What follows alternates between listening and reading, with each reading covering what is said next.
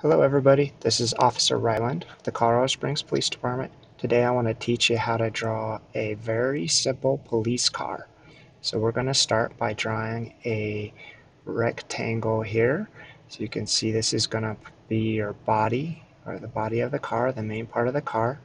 Then I'm going to draw a second rectangle on top, just a little bit of one side or another uh, just because I like to have the hood of the car be a little longer than the trunk part of the car. Then I'm going to draw rectangles here. So I just connected those two lines and that's going to be your windscreen or your windshield and then your back rear view I don't know what you call that rear window I guess as you can see I like working with the whiteboard because if I make a mistake it's real easy to just erase and to continue on and there's no stress of having to do it perfect the first time. So now I'm going to draw the tires. Uh, I put the front tire um, uh, just a, a, little bit back from the front and then the back tire the same and then I erase the lines. So it's literally just a circle making a little hubcap, maybe some accent lines so it looks like it's a wheel. And then here's where the fun part begins. So you have the base of your car already. Now you can draw a different kind of front or hoods and grills and all that kind of stuff however you want it. You can try different things. You can see I tried one and I didn't like it. So I'm going to try something else, make it a little more racy uh, and uh, looking looking all right. So I'm going with that for now. I'm drawing a really easy headlight, which is just another circle, and then the grill, which is just uh, whatever design you want to make. Here I'm just kind of marking out where I think the doors would be on the car. And now the fun part, making it a police car with the lights on top. Again, that's just a rectangle. Um, so don't don't overthink it. You're just making shapes right right now and putting them together. This is just my rear view mirror. Um, or side view mirror, excuse me. Now I might put some words on it just to make people, you know, show that it's a police car. I'm gonna, maybe I'll draw a star up here for like a sheriff's car.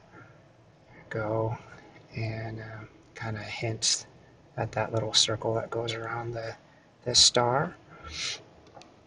And then I'm just kind of thinking whether or not I like that angle um, and again, this is why I love uh, learning to draw on a whiteboard because you get a lot of learning. And if you make a mistake, it's real easy to erase it and just start all over and just erase parts and start all over.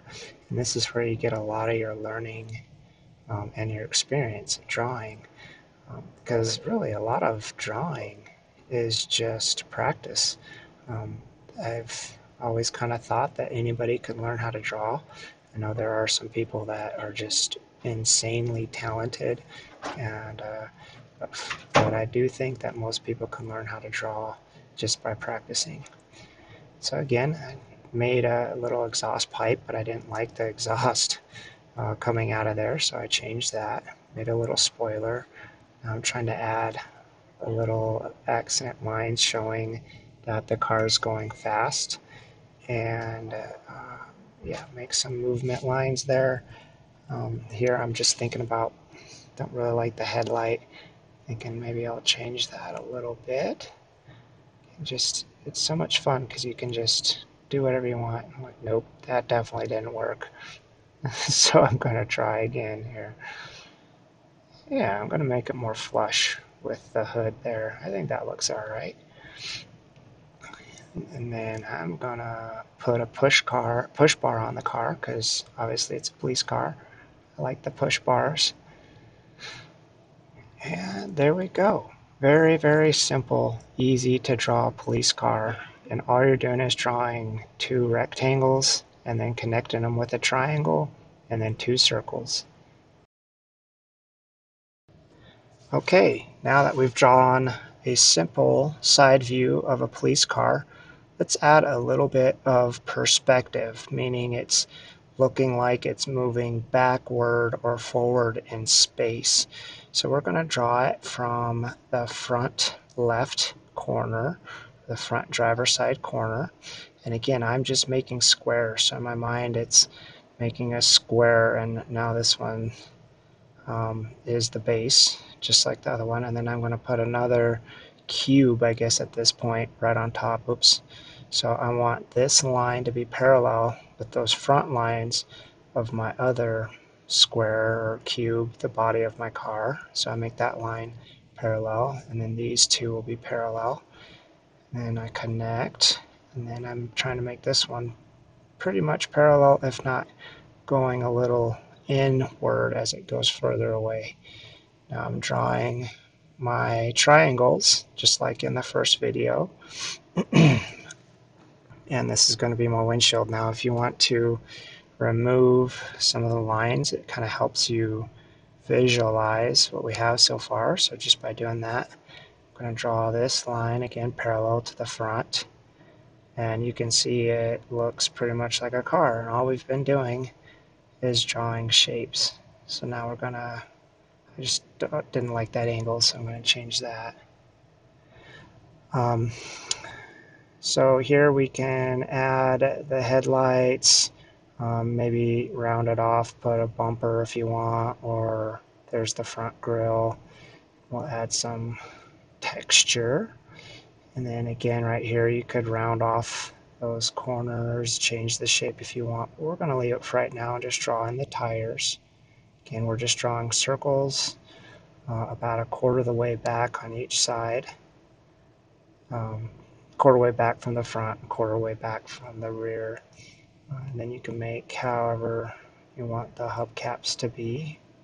Now this one can be a little tricky. Uh, again, you just got to look and make your lines parallel when you're doing the, the light bar on top of the car. So it's just, again, it's another box or a cube sitting on top of the car.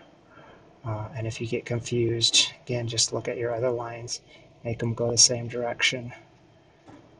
There we go. We'll add some little lines here showing that the lights are on. And we gotta add the exhaust pipe.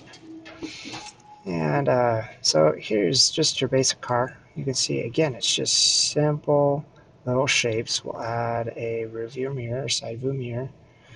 Um, Maybe we'll add a spoiler again just because it's fun. Got our spoiler. Although now it kind of looks like a pickup truck. But that's okay. So we add that little squiggly line, just kind of makes it look like glass. And we're going to draw on the doors a little bit here. Again, this is really quick. And there we go. Okay, now let's try something a little more tricky. So we've done a view from the side and a view from the front corner. Now let's do one from the front. So we're going to draw that same square.